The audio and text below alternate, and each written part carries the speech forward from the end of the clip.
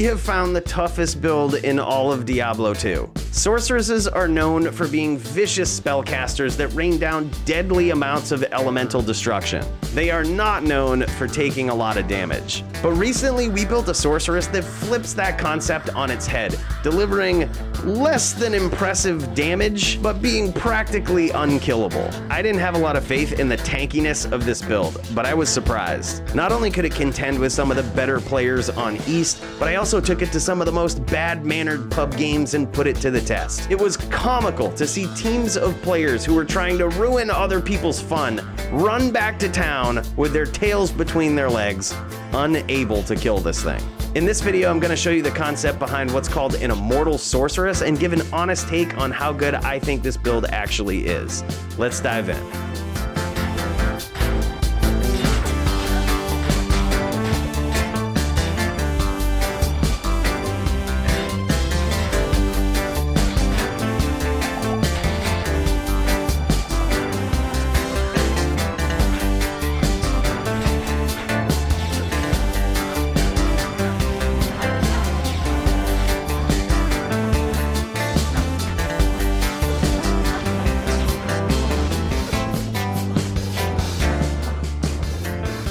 Energy Shield is a busted skill. It allows a sorceress to redirect damage from her life total to her mana pool. This works for just about any type of damage with the exception of open wounds and poison.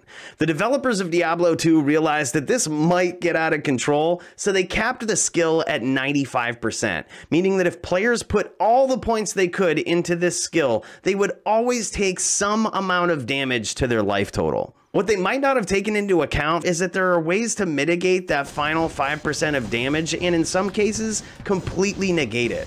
To really understand how we get to the point of being unkillable with this thing, we first have to understand how Energy Shield works. The trade-off for deflecting damage to your mana from Energy Shield is that the damage that it reflects is 200% what the original damage was. However, Energy Shield has a synergy called telekinesis. For each hard point we put into telekinesis, it reduces that 200% by a little over 6%. So instead of maxing our damage skills, if we put as many skill points as we can into telekinesis, we can bring that 200% damage reflection down to about 75% and actually reduce the amount of damage that our mana takes. This is important because our mana is going to take a beating with this build, and we need to keep as much of it as possible at all times. When you're out of mana, you're out of luck. Obviously, we're putting as many points as we can into the busted skills called Energy Shield and Telekinesis. But after doing that, we only have room to max about three skills, so we need to be extremely efficient. Our dominant attack is Firewall. Yeah, our goal is to slowly cook our opponents to death while they exhaust themselves trying to kill us. Here's where the efficiency of these skill distributions comes into play. Firewall receives bonuses from a skill called Warmth. Usually sorceresses call this a one point wonder and everybody will put one point into it and just move on. But whereas this skill boosts the amount of damage to our main attack, we're gonna put as many points as we can into it. The extremely efficient thing about maximizing Warmth is that with this particular build, it actually regenerates our mana by 450%. So when we're out there in the Bloodmoor and our mana pool is taking a beating, this is a super efficient way to replenish it and replenish it quickly. From there, we put the rest of our points into Fire Mastery because it significantly boosts our total fire damage output. There's actually a few variations of the Immortal Sorceress. We tested out lightning, cold, and fire versions of this build and came to the conclusion that the fire version was the most efficient and effective. Lightning attacks become so weak that your opponent can slap on a T-Gods and our attacks will essentially heal them. The cold skill version of this sorceress fell somewhere in between, largely depending on your opponent's resistances and build. The Immortal Sorceress tries to take advantage of the damage calculation formulas in the game. The first thing to know is that the damage you take in duels is less than you might expect. Because of the huge difference in monster and player life totals, all damage in PvP is multiplied by 1 6th meaning you do about 83% less damage in PvP than what appears on your character screen. This is known as the PvP nerf. So in case you ever wondered why your paladin that did 18,000 hammer damage wasn't one-shotting everybody in a public duel game, That's why. He actually only does 3000 damage because of the PvP nerf, which still isn't bad, but it won't immediately kill most high level duelers. We'll need an example to illustrate how damage is applied when Energy Shield is active. So let's use our Sorc from the team set item duels we did recently with Mr. Llama SC. The first formula we'll look at is one responsible for calculating how much of that 18,000 damage will be redirected to our mana. To figure this out, we take the total amount of damage, 18,000, apply the PvP nerf of 1 6th, and get an even 3,000 damage. See why we picked that number? I've already figured out the math. From there, we take that 3,000 damage, reduce it by 25%, and that is the actual damage that will go to our mana, 2,250. Now, mind you, 5% of that 3,000 damage will attempt to go to our life total. And I do mean attempt. It's that smaller amount of damage that brings us to the second most important part about this formula. This formula has to do with how damage is applied to a player's life total. To simplify it, it basically means that our resistances now get applied to that remaining 150 damage. Suppose we have 75% fire resist. That means we get to take that 150 damage and reduce it by 75%, leaving us with about 38 damage total. So to recap the basics of these two formulas, from this huge 18,000 damage fireball, we actually only take 38 damage from it. You might be thinking, hey, that's still some amount of damage. You are not immortal. Here's where the magic comes in. Two of the most overlooked item attributes are magic and physical damage reduction. Not percentages, but actual integer damage reduction. Usually these attributes are pointless. People find them on items all the time and probably don't give them any second thought. But in the case of this immortal sorceress, since the actual amount of damage being dealt to us is so low, these attributes can be a way to completely negate all damage dealt to her life total. To go further, there's a little known glitch in the game that favors this build. Physical and magic damage reductions stack on top of each other and are treated as one and the same in certain circumstances. For example, let's say our immortal Sorc had only 2 physical damage reduction, but had 50 magic damage reduction from her items. And suppose our opponent is a barbarian wielding common items such as Grief, High Lords, or Ravenfrost, all of which have small amounts of magical damage on them. If after all of our damage nerfs, we would take at least one magic damage and say 51 physical damage, all of the damage would be reduced to zero, even though we only have two actual physical damage reduced. Gotta love those little bugs in this game. With all of these little technicalities and formulas in mind, let's take a look at how we actually built an Immortal Sorceress. Admittedly, I don't even have the most ideal items for this build. I was that guy, always overlooking that magic damage reduced mod on items, so I don't have a plethora of ideal items kicking around for this build. And still, it's a tank.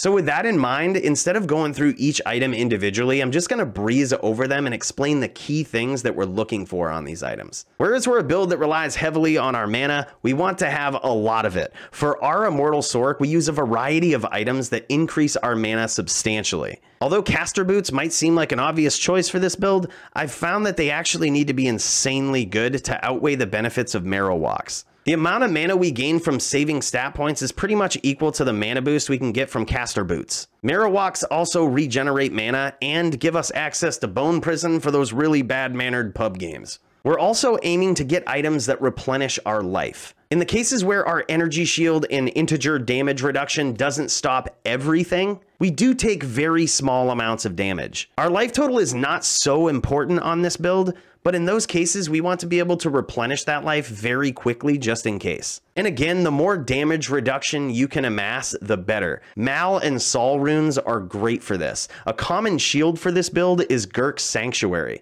You can see that those two attributes exist in large quantity on this shield, but this item is key to the build for so many other reasons. The block percent is fairly high, giving us a good chance to straight up block our opponent's attacks and not worry about any damage coming through. Additionally, it replenishes our life and gives us a sweet boost to resistances. I can see some of you savvy players now checking these items to figure out what my breakpoints are, so let me just break it down for you. The cast breakpoint is rather malleable. I would suggest at least 63% and 105% if you can pull it off. This particular build pulls off 105 cast, but it's not necessary. We can get away with 63 if by making that sacrifice, we're stacking a lot more damage reduction and magic damage reduction. One breakpoint though that you'll almost always want to reach is that 86% faster hit recovery. I would highly suggest doing this with your charms in your inventory and not relying too heavily on your items for it. We'll also want to spend the stat points on this character very efficiently.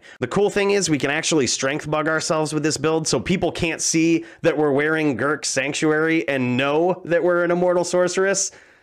The element of surprise. We're trying to tank as many hits as possible, and one of the best ways to do that is just to block the hit and have it not matter in the first place. That in mind, we want to put just enough points into dexterity to get us to that 75% or max block. The rest of our points into vita... Just kidding. All of them into energy. We do not give a shit about our life total with this build. We can literally be at one life and people can't kill us. Life total, irrelevant. You're going to want to invest every point possible into energy, boosting up the amount of mana that you have by as much as possible. With all of these factors in place, this sorceress can take a beating and never die. Here we are in some bad-mannered public duel games, confusing the ever-loving shit out of people trying to kill us.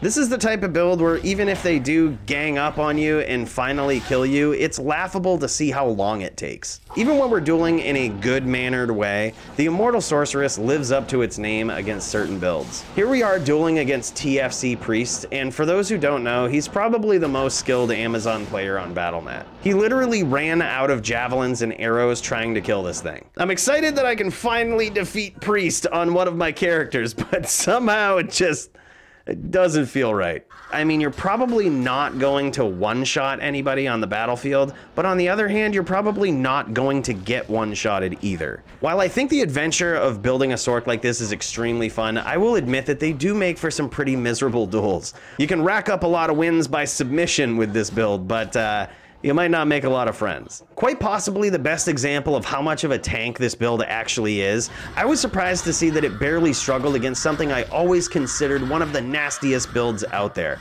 a Ghost Assassin. Against those types of hybrid builds that focus on damage diversity and not specialization, this build wrecks them. The worst matchups you'll run into are ones that do huge amounts of elemental damage. That's because ES does not take into account your resistances before applying damage to your mana. Therefore, real lightning sorceresses or real fire sorceresses will pose a huge threat for this build. Along those same lines, Trap Sins and FOH Dins are also a problem. Oh yeah, and Rabies druids. Just forget it. Like, there's finally a build that rabies just destroys. Like, it's not even close. Other than that though, this build tanks for days, even at one life. If you like the challenge of surviving during a duel, this can be a fun build, but you'll need to be extremely patient because your damage output is not so great. Alternatively, if your goal is to troll the trolls, this is the perfect build. Anyways, hope you guys enjoyed this video about the Immortal Sorceress. Let me know down in the comments if you end up giving it a try. Thank you so much for watching. I'll catch you in the next video.